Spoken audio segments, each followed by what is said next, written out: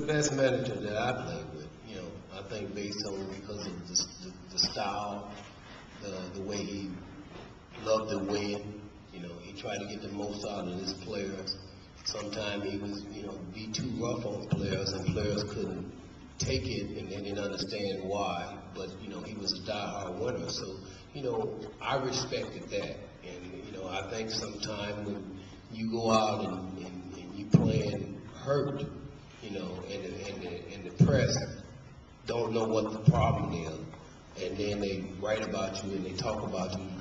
I think Billy was the type of uh, manager with myself that you know he would come and ask me how you feel today, how you feel today, and I would tell him. And I would try to be as honest as I can. So he's, he always say, you know, I say, oh my legs hurt, you know, I don't feel like I can go out there. He said, you know, what you, what percentage do you think you? And I said maybe about seventy percent. He said seventy percent of you is better than what I got on the bench. So could you go out there for me?